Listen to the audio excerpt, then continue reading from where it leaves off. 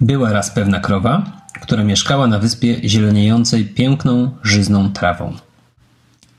Całymi dniami, aż do zmierzchu, pasła się na niej i przybierała na wadze. Lecz kiedy zapadała noc ciemna, przestawała widzieć pokryte zieloną trawą łąki. Zaczynała się niepokoić i pytać samą siebie, co będę jadła następnego dnia. Zaczynała się zamartwiać, że pewnie umrze z głodu, a z tego niepokoju chudła w okamgnieniu. O poranku, kiedy stawał dzień, i znów zabierała się do jedzenia i znów przybierała na wadze.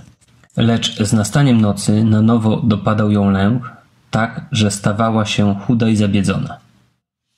W pracowni filozofa. Czy wszyscy nie jesteśmy podobni do tej krowy? Niepokój o jutro zżera nas i zasmuca. Żyjmy więc raczej chwilą i korzystajmy z dobrodziejstw życia. Czy jednak lęk nie jest nieodłączną częścią losu człowieka? Czy nie jest on, tak samo jak stres, motorem życia? Jak osiągnąć równowagę między niepohamowaną beztroską a lękiem, który utrudnia życie? Czytał Witold Obuchowicz.